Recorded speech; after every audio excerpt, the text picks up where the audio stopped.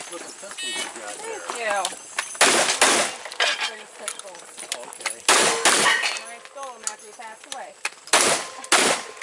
so they're, um,